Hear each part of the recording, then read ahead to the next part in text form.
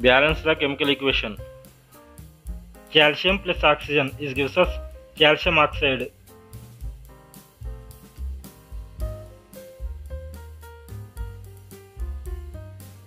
In this equation, the reactants are calcium and oxygen and the product is calcium oxide.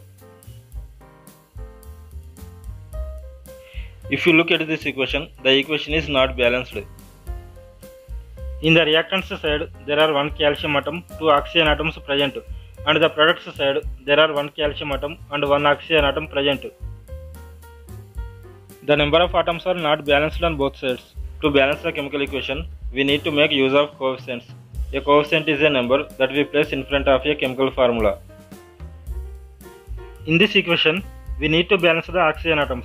To do this, we need to put a coefficient of 2 in front of CaO.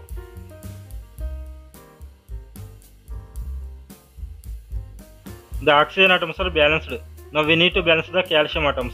To do this, we need to put a coefficient of 2 in front of Ca.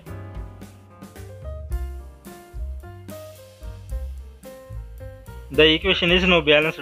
There are two calcium atoms and two oxygen atoms on both sides.